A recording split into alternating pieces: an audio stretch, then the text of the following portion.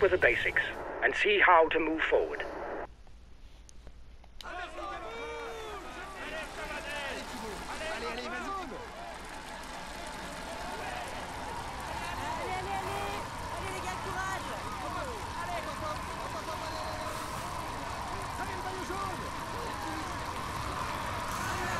Okay, so one, two is. The harder you press, the faster you pedal. But be careful. The faster you go, the faster your energy drains away. Okay, thanks for letting me know that. Now we'll check the workings of your gear ratios. With the high gear ratio, you can go even faster.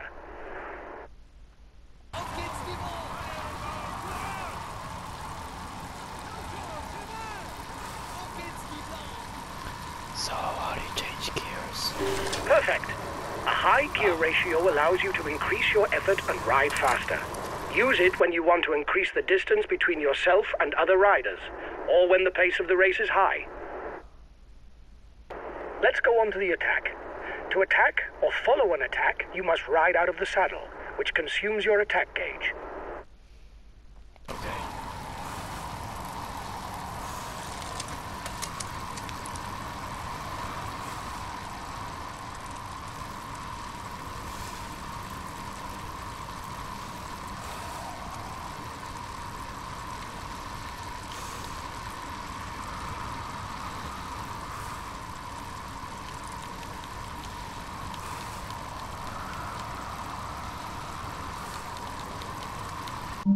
Let's go on to the attack.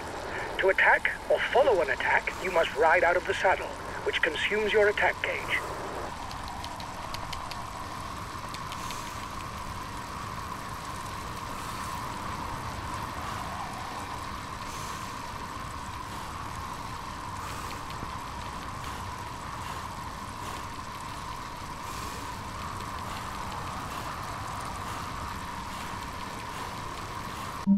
Let's go on to the attack.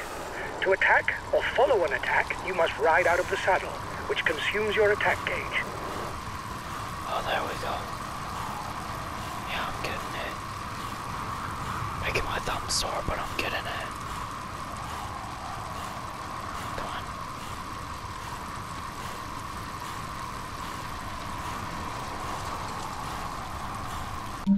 Let's go on to the attack.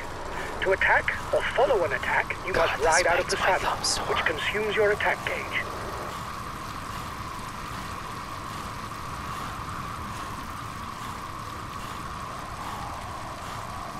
Come on, come on, come on.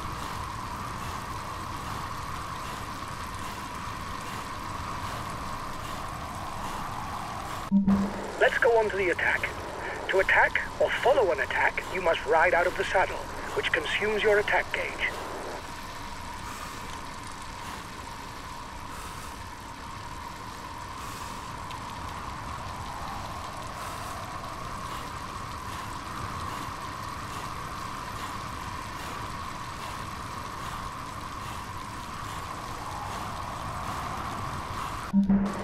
On to the attack.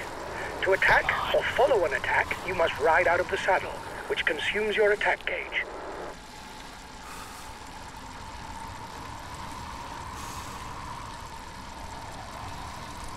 I'm just gonna let my guy charge up the side uh, this time.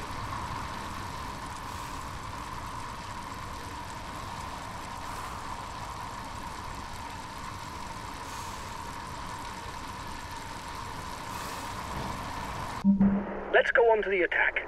To attack or follow an attack, you must ride out of the saddle, which consumes your attack gauge.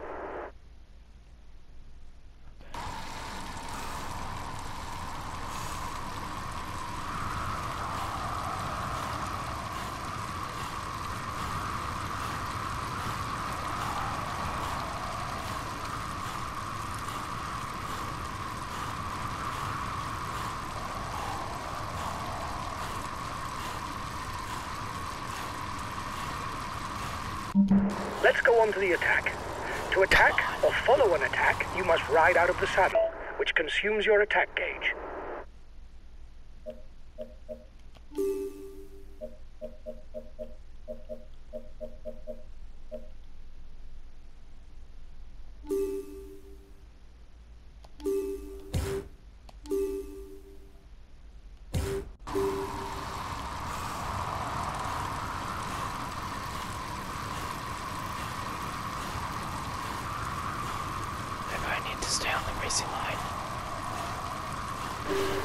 Attack.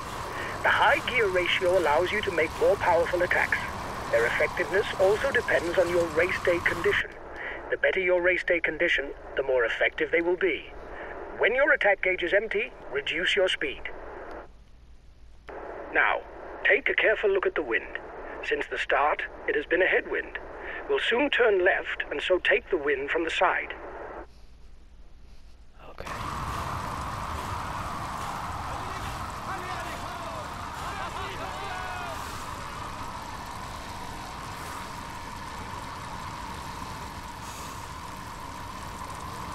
It's best to have five riders between you and the oncoming wind, so that you are protected and save energy. If you are very poorly protected, the protection shield will flash. Let's talk about feeds. Before each stage, you can choose two feeds. They allow you to recover some energy during the race. Okay. So what's the difference between those feeds? Choose your feeds according to the race strategy you intend to adopt for the stage. Red to attack or blue to ride for longer, for example. I think I'll go blue. We are approaching the feed zone.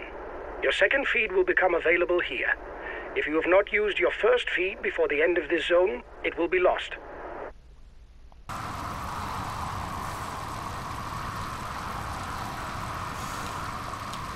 I don't really know what I'm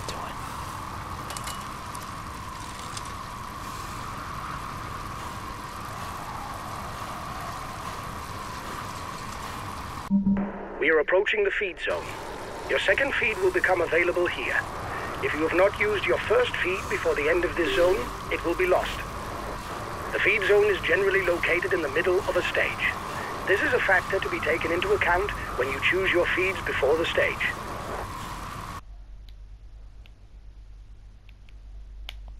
We'll soon attack a small climb. If you want to know the exact slope, you can look at the percentage.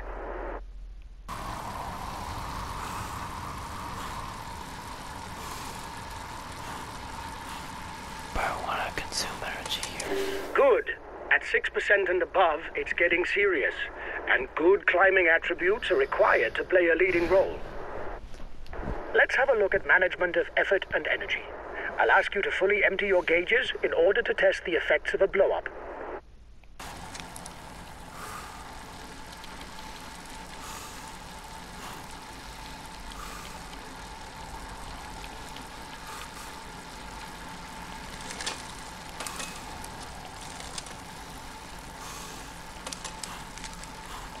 Why can I not go faster?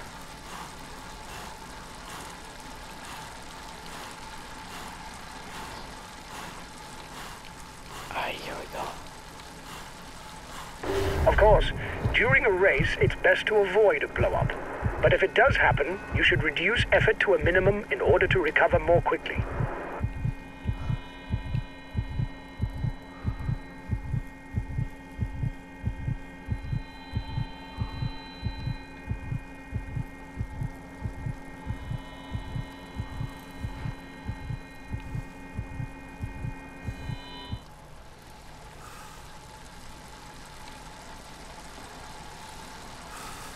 I, I'm just gonna hold R2.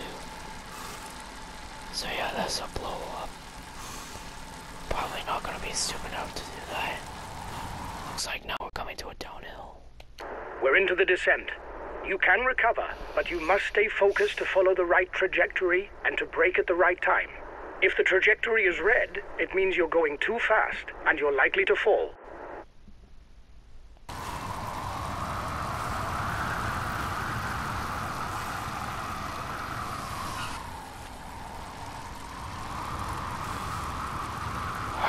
So I. Excellent. To optimize your descent, you must use your brakes wisely to avoid having to brake hard and then waste energy by having to accelerate again. Okay, When you see long downhill straights, you can stop pedaling and put yourself in an aerodynamic position. If the slope is steep enough, you can pick up some speed. Okay.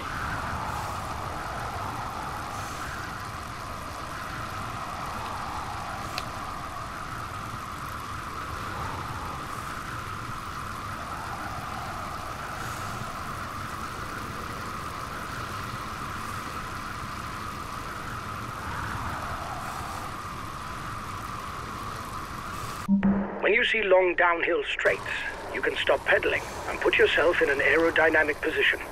If the slope is steep enough, you can pick up some speed.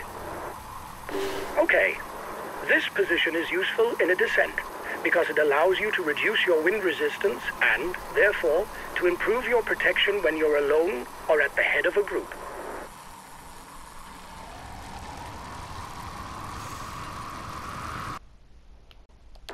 If you're uncomfortable on descents or in technical sections, you can sit behind another rider and follow him. He will serve as your locomotive.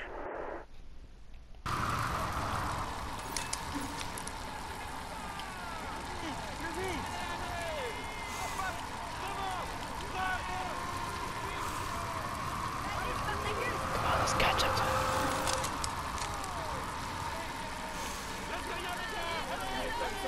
That's good.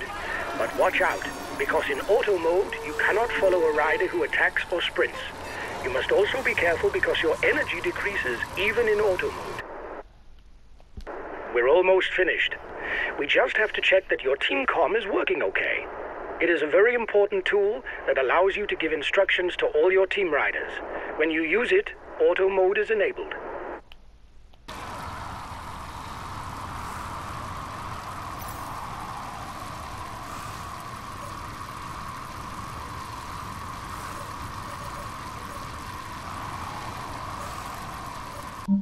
We're almost finished. We just have to check that your team com is working okay. It is a very important tool that allows you to give instructions to all your team riders. When you use it, auto mode is enabled.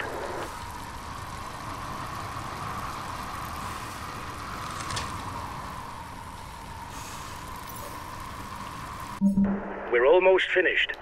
We just have to check that your team com is working okay. It is a very important tool that allows you to give instructions to all your team riders. When you use it, auto mode is enabled.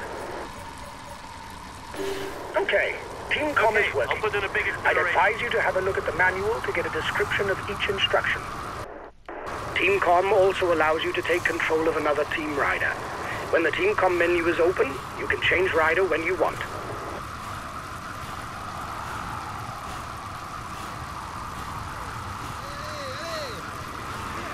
Oh, yeah, whoops.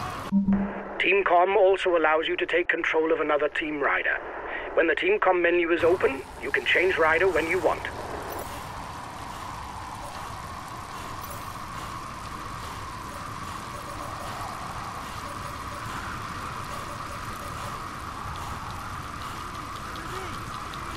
Crap, I'm doing something. Team Com also allows you to take control of another team rider. When the Team Com menu is open, you can change rider when you want.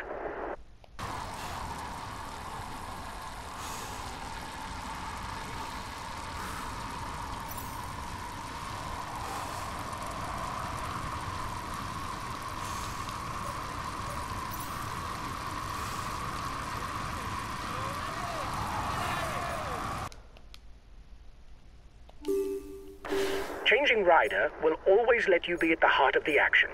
For example, if your current rider is too tired, you can swap to control a rider who has more energy. But be careful. If you ride too fast, you cannot use TeamCom. Perfect. You are ready for the tour. If you want to develop certain points, discover advanced features, or just learn more about the Tour de France, you can access the manual from the main menu.